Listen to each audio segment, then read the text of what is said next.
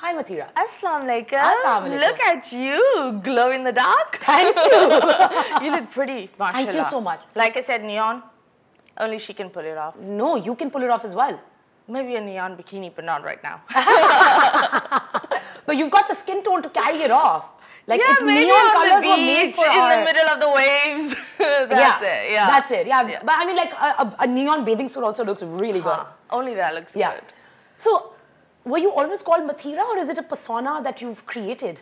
I didn't create it. My dad uh, used to call me Mathira because uh, my nanima named me. Okay. And uh, my dad then. We always have two names. My sister has two names. I've got two names. So what's one your- is from the Nanyal side and one is from the dad's side. From the dad's side. From uh, the Nani side, I am Tehmina, which I really don't use it. It's only on papers.